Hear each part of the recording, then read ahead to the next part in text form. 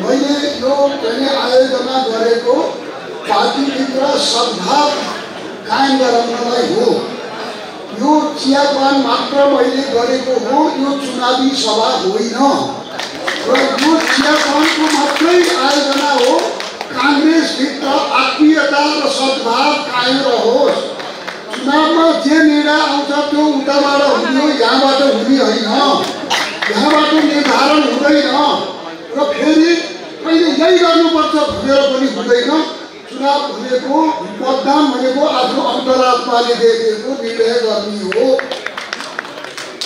प्रजातन्त्रको यो मर्मलाई नेपाली काङ्ग्रेसको कुनै पनि सदस्यले बुझेको हुनुपर्छ मतदान त्यसै हुँदैन मत भनेको मन मन मनको गहिराइबाट आउनुपर्छ त्यसलाई जित्न सक्नुपर्छ मनलाई यो कहिले यो गर्नुपर्छ भन्ने भनेको लोकतन्त्र होइन यो डिक्टेटरसिप हो तानासाही हो नेपाली काङ्ग्रेस तानासाही स्वीकार गर्दैन।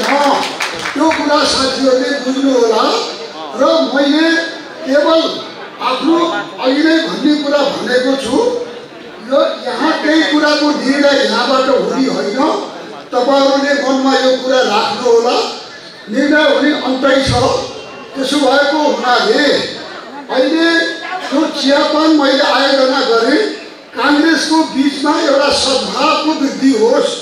हामी भोलि मैदानमा लड्नु छ प्रतिपक्षीसँग। त्यसको लागि हामी एक भएर जान सकौँ चुनावको जे नतिजा भए पनि काङ्ग्रेस यहाँबाट फर्कँदा एकताबद्ध भएर फर्कोस्? किनभने भर्खरै गाउँमा चुनाव लड्नु छ भर्खरै प्रदेशमा चुनाव लड्नु छ भर्खरै संसदमा चुनाव लड्नु छ प्रतिपक्षीसँग सामना गर्नु छ।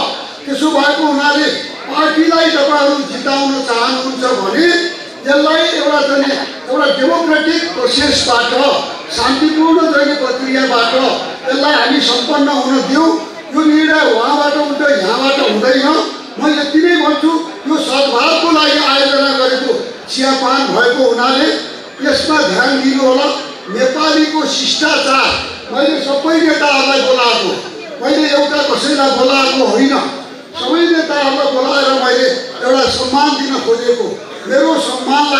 तपाईँहरूले अपमान हुने कुरा नगरिदिनु होला किनभने हामी त फेरि मिलेर बस्नु छ फेरि मिलेर लड्नु छ फेरि एक भएर जानु छ हाम्रो एकता आवश्यक छ।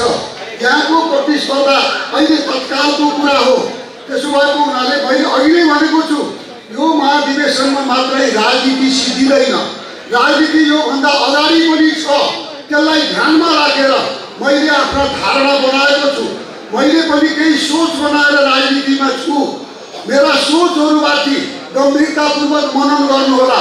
मैले राजनीतिमा म त्यसै भोटो फटाएको होइन। मैले धेरै सङ्घर्ष गरेर म लडेको हो मैले त्यसै भोटो फटाएको छैन। यो कुरा तपाईँहरूले विचार गर्नुहोला र यो चियापान समारोहलाई एकदम शान्तिपूर्ण सौहार्दपूर्ण र सद्भावपूर्ण बनाउनको